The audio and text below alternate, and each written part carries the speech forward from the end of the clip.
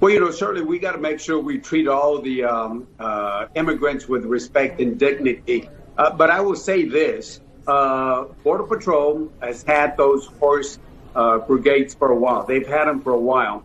Uh, number one. Number two, they don't carry whips and they do not carry lassos. I think the picture you're talking about, at least the one I've seen, is uh, the rein, the rein of the horses. so and should those again, be used? Should those well, be used I, I, even if it's a rein? Well, I, again, if there was a problem, it should be investigated, and I think that's it. But we cannot paint uh, the Border Patrol with the same type of paintbrush. Uh, look, you know, they, they, what are they supposed to do? Just stand there and let everybody come in? Uh, you know, they're supposed to be enforcing the, the law,